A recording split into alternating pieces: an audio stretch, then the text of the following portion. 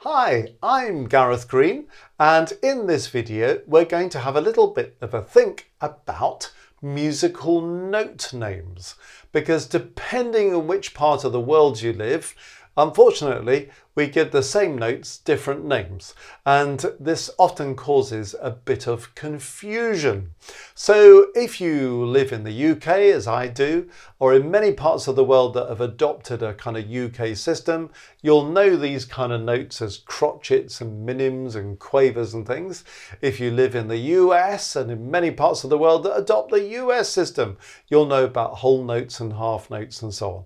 So this video is just trying to mop this up so that we all understand what we're talking about. So if you hear a funny name for a note, you'll know what it means in your own system. So let's go through these notes. These are the kind of standard length of notes. And in case you haven't met this one at the top, I'll come back to it in a moment, um, it's worth eight beats. This one's worth four, this one's worth two, one, half, quarter, eighth, and 16. So if you know the values of these notes, that's great. If you don't know them, what you'll notice is that every time we move on, we're halving the number. So there's a kind of system behind all this. So we start off with this funny thing, a round note with these two lines either side, and then we get rid of the lines and we have that. And once we have that, we, we put a stick on it, what we call a stem, and then we have that and we color it in. And then we have that and we put one hook on it. Then we add a second hook and a third hook and a fourth hook. So this is the kind of basic system of rhythm that we use. And now we're going to talk about the names that go with them. Okay well if you live in my part of the world we're going to start here. I'll come back to this one. We'll start here. Well this thing with four beats we call a semibreve.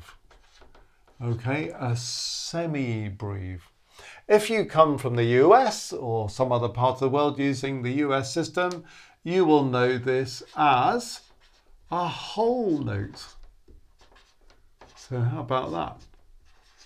A whole note. Now I started there because I'm now going to explain the logic of what happens with this 8-beat thing. And this note is far less commonly used than these other notes. So if you've never seen one of these, don't worry about it, doesn't matter at all. Um, but you might just bump into it, particularly if you get into 16th century music where you tend to meet more of those notes. But there we are. So there's a logic, and this is why I've done it this way around. If this thing is called a semibreve, well, semi means half, doesn't it? So if this is half of a breve, and it's four, ah, well, this is twice four, isn't it? So this one is called a breve, okay? So in the UK system, we call that a breve. Semibreve is half of a breve because four is half of eight, so that's a breve.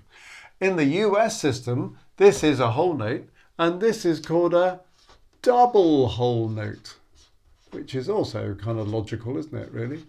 If the four is a whole note, well, this one must be double that. So there's a double whole note. Okay, now if we move on to this one, in the UK system, the note that has two beats is called a minim. And in the US system, it's called a half note. Now that kind of makes sense, doesn't it, really? If this one is a whole note, well, that's a half note.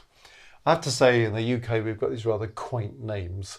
Um, in many ways the US system is much more logical. But anyway, good to know them both.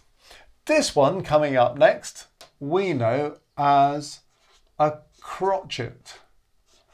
And by the way, if you ever have to write the word crotchet, make sure you put a T in the middle of it. Lots of people spell crotchet with no T in the middle and then it says crochet and crochet is a different thing altogether. So a crotchet is a one beat note. Okay, now I wonder if you can see the logic of where the US system is going next because they call this one a quarter note. Okay, so there's the quarter note. So a whole note, a half note, a quarter note. You can see what the logic of this thing is. Uh, this one we call in the UK quaver. Okay, and where are we going to go next? If that's a quarter note, well, this one must be an eighth note.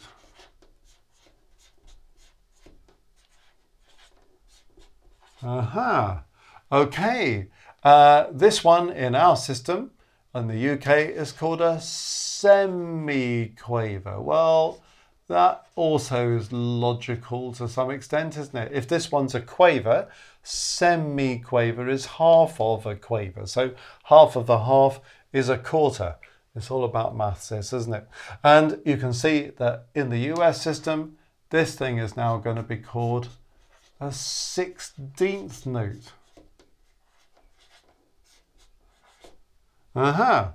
Okay, what about this thing that's looking more like a centipede as we go? The thing that's an eighth of a beat, we call it in the UK a, wait for this, demi, semi, quaver. Aha.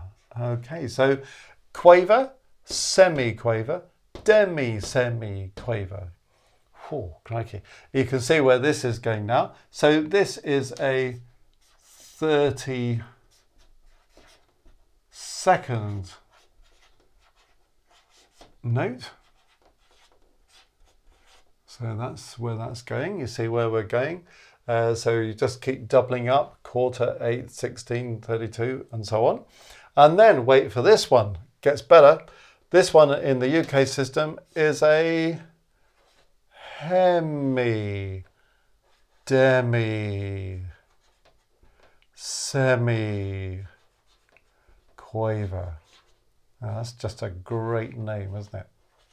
So if you want to impress your friends with a long word, hemi, demi, semi, quaver is what that one is. Double up 32, you get 64. So in the US system, this is a 64th note.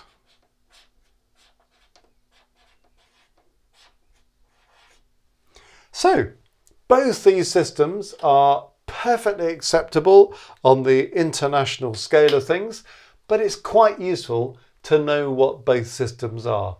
I have to say there's a certain logic in the English system, you know, quaver, semi-quaver, demi-semi-quaver, hemi-demi-semi-quaver, breve, semi-breve, you know, less of a logic in this stuff here. And there is real logic in the American system because if that's a whole note, that's a double whole note, that's half a note, uh, a quarter note, an eighth note, 16th, 32nd note, 64th note, it, that flows out much more logically in many ways. But the main thing is, whichever side you are, just to know what the notes are called on the other side. So if ever you're kind of brought up on this system and somebody starts talking about this system or vice versa, you know what those two things mean. So I hope that's a useful translation of musical note names.